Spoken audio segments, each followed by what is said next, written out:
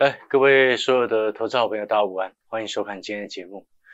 在来看台股之前呢，我们先来看这几天我们国际股市的一个发展。哦，那的确也如我的预期了哈，就是费半往上冲啊。但是呢，比较可惜的就是说礼拜礼拜什么？礼拜五的时间啊，大家应该都看到消息了哈，川普。啊，这个带给全世界的一个十月惊奇呀，啊，就是说这个不小心得到了一个肺炎啊，哦，确诊，哦，虽然说目前传出来好像已经可以出院了，但是还是要关心一下，哦，那当然不管今天呢，哦，你是讨厌他、喜欢他的朋友，阿小时都真的要讲，就是说，那当有人生病了，哈。假设这个生病的人是你的敌人，你不喜欢他，或者是你的敌人啊，也不应该去诅咒他啊，因为这是一个人人该有的，身为人呐，该有的一个这个道德的问题啊，啊，所以哈，这有些时候哈，不要为了一己的情绪啊，这个乱骂啊，就没有意义了啊。如果他没有生病，你高兴的，我骂就算了。但是如果人家今天真的生病了，哦，就不要这个诅咒别人了，这不好啊，真的不好。那当然，回过头来，你看费半的部分呢，啊，先前拉出六根的红 K 棒，中间还带带有多方跳空缺口，哦，那礼拜五那一天收的比较低啊，不过费半道琼指数反而还好，走到目前为止的一个费城半导体呢，还维持在月季线之上的一个位置。那今天带动了整个亚洲股市呢，啊，还是往上冲。不过你这边可以看得到一件事情，就是说，你看哦，像南韩它往上涨了一点二九个百分点，日本呢也是往上涨了一点二三个百分点。但是就台股相对，你可以看得到，台湾股市呢就只有涨三十二点啊，零点二六个百分点。那当然这其中哦牵扯到一个相对位置的关系啊，也牵扯到成交量的一个不够。所以你今天整个台北股市呢，早上冲高啊，很刚好就碰到了一个月季线的一个位置啊，所以这个有待补量往上攻击啊。当然这个空方缺口已经是确认回补了嘛啊，所以接下来呃，目前来看，我们还是偏多的一个思考。啊，但是偏多的思考看的是一个大的区间，啊，大的区间，啊，目前来看是这样子。那现在回过头来呢，其中呢，今天的盘其实说真的，一千四百八十一亿啊，算是一个乏成可善啊。所以个股表现，但是个股表现呢，只有少数的族群有比较整齐，总体来说都还好，哦，就是小涨小跌的一个盘啊，大家比较观望。好，那加加上这个礼拜五又有国庆的一个连假，这个礼拜又只有四个交易日，哦，所以观望心态的这个气氛还是相对是比较重。但是呢，这边有一件事情我还是要点出来，啊，投资好朋友你一定要特别注意这件事情。这件事情就是我之前一直在跟各位说的，这个叫做新台币的汇率，它创下九年的新高了。今天一个实体很漂亮，啊，所以各位所有好朋友你一定要注意这一点。啊，往下是一直在升值，这会牵扯到两个重点啊，两哪两个重点呢？第一个，第一个叫做什么？电子股或者是以出口为导向的个股，接下来第三季的季报可能会比较辛苦，要担心提防所谓的汇损问题。第三季是七月、八月、九月的时间，哦，你可以看得出来，平均的汇率水准是比起第二季啊，第二季的一个汇率水准来得高。啊，所以你要提防汇损的问题。那汇损的问题比较大部分会是在电子股身上。啊，那所以你才会在今天其实有一些资金开始默默的又继续针对在非电子族群当中比较活络。那当然，这非电子族群当中你也要去分辨出来，分辨什么？哪一些是短线题材？哪一些是真实的往上再往上走？啊，什么叫做短线题材呢？来，这个叫做短线题材。川普染疫啊，这个叫这个叫做短线题材啊，我给各位去做一个对比。今天今天因为川普的这个消息哦，市场上有一些资金又开始在运作这个区块防疫股的区块，但是我要给各位去做一个区分，基本上我认为这个叫做短线题材，所以有赚如果有做哦，就赚了就跑就好。短线题材的一个概念指的是什么？哦，我们要给各位做一个对比，指的是什么？就是说，你看了这个叫一三二五的恒大，好，然后这个叫做六五零四的南六，哦，你注意它的时间几乎同时，啊，几乎同时，九九一九的康纳香，啊，几乎都这个时间。但是呢，你看其他的防疫概念股还好，这叫瑞基，这个也还好，这个叫泰博，啊，还有中化生，大家也很喜欢的，诶，有涨。可是也还好啊，但是你这边注意一件事情，哪一件事情？来，我要给各位看的不是它今天有没有涨，我要给各位看的就是今天涨停的绝大部分都是之前跌很深的防疫股。今天涨停的防疫股绝大部分都是之前跌很深的，这叫恒大，这叫南六啊，这叫九九一九康康纳香啊，对不对？你听懂我的意思吗？之前没什么跌的，它有小涨。但是也没有很有效拉上去，对不对？所以泰博啊，体温计啊，这个跌超级深，哈哈啊！可是老师他没有涨停啊，哈哈。体温计跟口罩也一样嘛，虽然都归类防疫股。我这边要讲的意思就是说，当你看到这些，你就要去思考另外一件事情：为什么这些业内的主力啊，这基本上就是主力了啊，法人基本上不太会去买。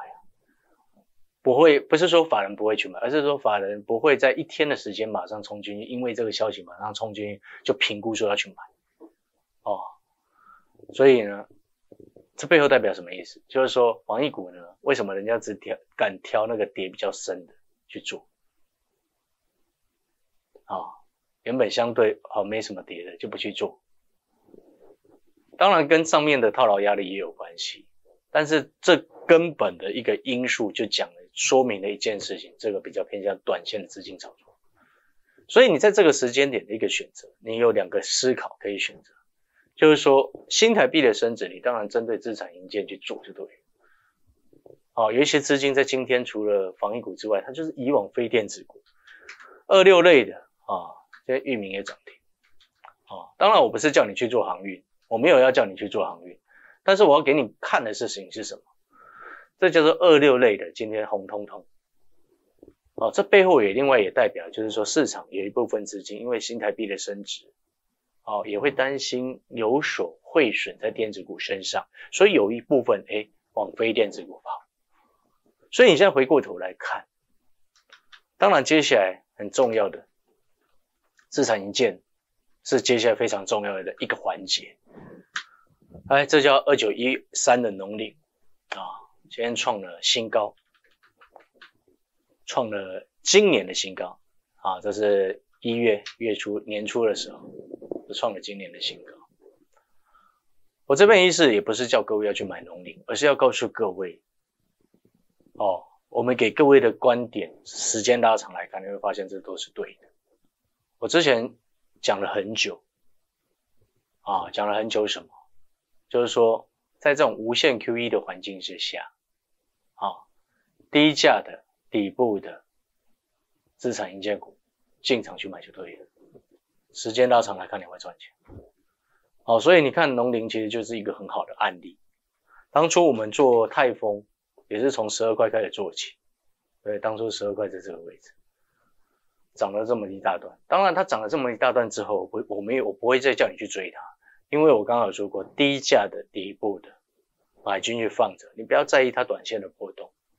而且我们这边在提另外一个论点，这个论点可能有些投资朋友听了会会有一些政治上的联想，但是阿翔老师是就投资的角度来告诉各位，什么叫就投资的角度来告诉各位。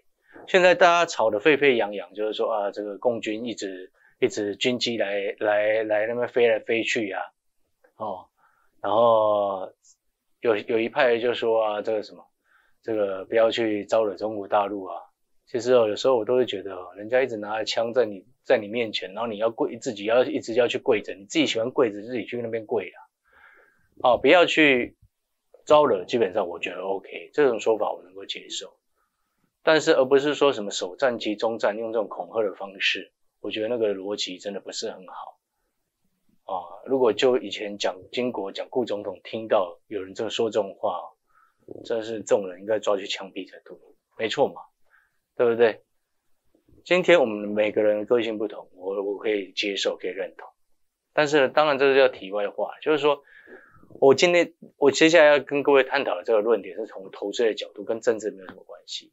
哦，也不是要跟你谈什么共军来台、犯台干嘛，有的没有的，对不对？然后买什么航空概念股、航太概念股，不是，而是要告诉各位，你接下来有一个很很重要的一个重点，你知道现在中国大陆因为跟美国哦之间进入这个新所谓新冷战时代，然后美国呢积极在拉拢台湾，好，那先前不管是卫生部长来台，或者是更高层级的官员来台访问台湾，他进一步在推动带带动什么？美国跟台湾的关系更进一步。那美国跟台湾的关系更进一步，对什么股票会有利？我这边不是跟你谈说啊，进一步建交不是这个意思哦，没有没有没有这个意思，而是说假设关系更进一步，对什么股票是有利？资产营建，因为那代表背后的意涵是在于说相对更为安全，就区域整个东南亚区域的观念来说，所以你听懂这个意思吗？所以你看哈，为什么新台币创新高？所以这边同样的，我要告诉各位的概念就是如此。所以你看一四一七的嘉裕啊，我们先前这个位置买，放到现在我也懒得理它。卖的很低，对不对？拉回我们再继续出手也都 OK 啊。五五三一的相邻概念也其实是一样，你看他根本就是故意洗的这样，你要给他们时间。但是这边我要跟各位讲的另外一档个股，我这档个股我没有要公开，这样个股叫做嘉裕第三。如果你猜得到，你可以自己去买。这样个股嘉裕第三呢，好，如果你错过了九块多的嘉裕，现在涨到快十二块钱嘛，错过了我们九块多再买的香邻，现在十块多了嘛。时间拉长来看，你会发现我们都在赚钱。嘉裕第三这个位置，目前股价才十块出头。哦，我给我已经给各位提示了，我没有要公开，但是我有给各位提示了。哦，十块出头。明年的 EPS 我今天有稍微算过，然后我也有发讯息给我所有的会员朋友，告诉我的会员朋友，我为什么要买这张股票，让你知道，让你是会员朋友，你知道，你自然而然就可以放心安心的买进去。才不会像每一次你可能参加其他老师啊，每次讯息啊叫你试价买、试价卖、试价买、试价卖，昨天买、今天卖、昨天买、今天卖、今天买、明天又卖，这样子做下来不会赚钱的，对不对？所以我都会告诉我的会员朋友，我们今天我为什么要告诉你，我要去买这一档嘉裕第三，现在股价才十块出头，十块多，明年 EPS 挑战四块以上。那为什么会能够挑战四块以上？我在今天的讯息也已经算给我的会员朋友知道了，所以我也要跟各位，如果你现在在看节目，你想要跟上我买嘉裕第三的观众朋友，你只要办好手续进来，我们现在有一个月的费用服务你到年底的一年一度的优惠活动，办好手续进来，阿翔老师一样会带你先卡位嘉裕第三，因为。你很清楚知道一件事情，那当然它发酵的时间有可能很快，我必须要先跟你讲在前面。为什么呢？虽然我说明年 EPS 有挑战四块以上的实力，四块钱以上的实力，现在股价才十块出头。虽然我是这样说，但是为什么我说不用等太久，有可能很快就要发动？其中最根本的原因是在于这个，就是我一直跟各位讲的这个东西，这叫做新台币的汇率。所以有些东西，我们不要等到它涨了，再来问说可不可以买。当初我在这里买的时候，也是很多好朋友他看阿强老师为什么要介绍这种股票啊？但是当它飞上去之后啊，要问可不可以买，然后问可不可以买之后，修正一段下来之后，现在又没有人要问了。很多散户都是这样看涨了才想要去买，哦，所以这边在非电子股当中。阿强老师会推荐给各位的叫做资产硬件，因为这个环境美台关系如果更进一步的话，这是你过去三四十年没有遇到的状况。你听懂那个意思吗？好，不要再说啊，这个房价那么贵啊，建商盖一堆都是空，又没有人住。哦，往往很多时候听到讲这种话的朋友，哈，往往都是赚钱赚的比较辛苦的朋友。对有些有资金的朋友来说，他根本看准了就出手，你知道这个东西吗？哦，所以哦，那个是两个世界不同的世界的思考逻辑不一样。那当然，我们就必须要去想说，哎，接下来哪一个方向对我们最有利？哦，所以在非电子股当中，我们选择这样子的方向。而在电子股当中，当然面板九月营收有机会继续成长。面板的报价，不管是大尺寸的电视面板，中型尺寸的笔记型用的这个，或者是电竞荧幕用的面板。报价是涨到年底，所以群创、友达还有这个这个什么这个相关面板周边的个股，九月营收有机会继续冲，拉回要找买点。面板的部分，另外呢，AMD 显示卡跟 NVIDIA 显示卡大战，接下来十月会更精彩。没有时间再说这块，我继续在追踪。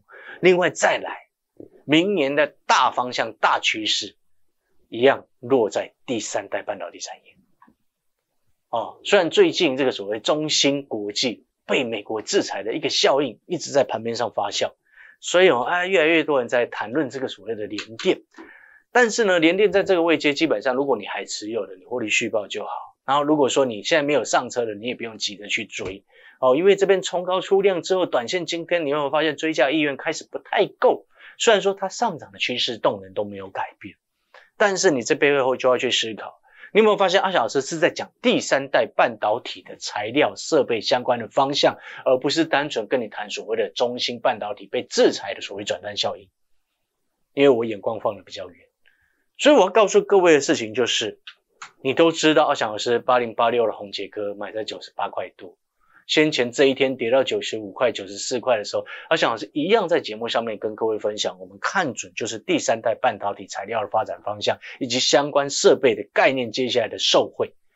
所以第三代半导体是阿翔老师要特别跟各位强调，你知道先前今年哦，今年像台积电，我先前跟各位说过，已经开始试出六寸晶圆代工在氮化镓的这个部分，啊，这个区块。表示什么？表示下游的需求有龙头大涨，已经开始奠定就是需要这样的需求。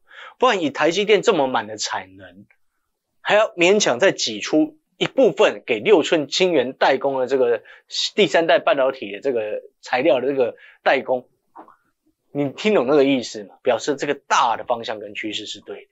所以你来来去做对比，我们再一次对比，今天红杰科收了一个漂亮的实体红 K 棒，好，对不对？还差一点要创波段新高哦，收盘价是创新高了。好，那你要回过头再去做对比，最先切入，你看像三一零五的文茂，到现在还是呈现量缩整理，在这边盘。二四五五的全新今天稍微有拉上来，但是我们顶多只能说它叫做跌升反弹，对不对？比起红杰克来说，哦，哎，P A 三雄最先跟中美星做策略合作的 P A 三雄当中的红杰科走势相对就是比较强。所以大方向跟趋势你也要先确定好。做股票本来就是看未来，筹码看现在的一个集中度，OK，我们准备上车。如果现在筹码很乱，根本不要买，对不对？现在筹码很集中，很 OK，有大人在做，我们先卡位上车，跟着吃货。然后未来的成长趋势明确，我们当然就做。所以同样的，红杰科，诶，今天冲到一零三点五。另外两档低价的半导体设备跟半导体相关的代工，也是我们目前所锁定的重点。所以整个大方向你都很清楚，阿翔老师的逻辑。我们今天做股票要的事情是什么？确定未来的趋势，我们朝这样子的趋势走，确定这个趋势是成长的。第二个部分，确定现在的筹码是安定的。第三个部分，确定现在的价位是值得投资的。所以我常常讲，底部进场不赢也难，就是这个道理。所以你现在回过头来，最后一点时间，佳玉已经讲太多了，我们就不再多说。好，所以我最后要跟所有的要参加会员或者是你持续要看节目的好朋友，不管你看节目单纯看看，或者是这个还在考虑要不要参加，或者是压根没有想过要参加小社会都没有关系。但是我今天就是要提醒各位，我们今天身为一个老师，我们就是有这个责任。哦，要把我们所认知这个对的观念啊，交给我们的投资朋友，交给我们的学生。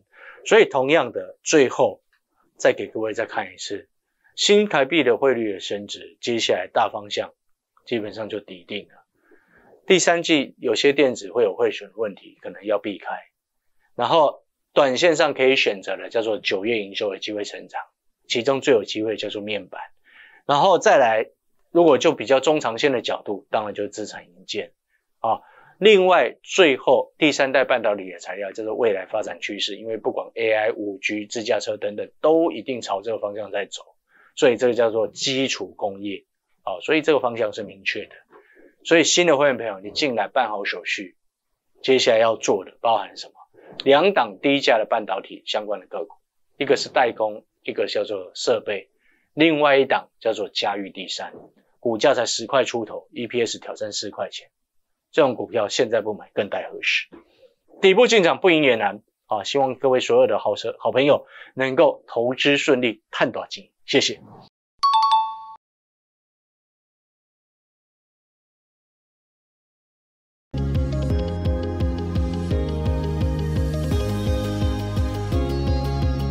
本公司以往之绩效不保证未来获利，且与所推荐分析之个别有价证券无不当之财务利益关系。本节目资料仅供参考，投资人应独立判断、审慎评估并自负投资风险。